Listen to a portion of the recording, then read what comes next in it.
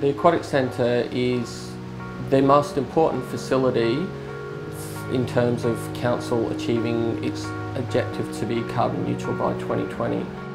It's a very large aquatic centre, a very large indoor centre. It has three pools which hold about 4 million litres of water.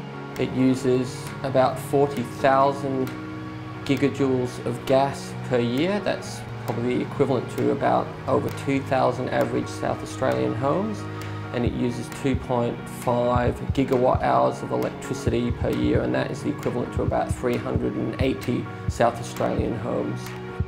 My role involves managing improvement works um, such as the new energy efficiency works at Adelaide Aquatic Centre. Uh, it's a very exciting upgrade um, to the facility. Uh, the building was constructed in 1960. The roof was enclosed in 1985 and there has been minimal works done since that period of time. This project is going to be implementing a range of energy efficiency measures and it also involves installing a cogeneration plant. A cogeneration plant is a system that generates electricity on site using gas, which is a low emissions fuel, and it also allows us to capture the waste heat from that system to also um, help in uh, heating the pool water at the centre. I see Council's role in um, providing a level of service to the community and using Council's resources and, and money effectively. We're expecting that we'll reduce and total energy costs at the centre up around the range of about 40%.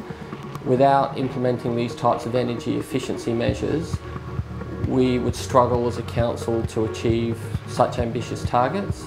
So it's important that when we do these types of projects, when we're upgrading facilities, that we look at all options that we have available to maximise us reducing those emissions and demonstrate also to the community um, the types of measures that can be taken to make significant cuts in emissions and also to demonstrate um, the importance of energy efficiency.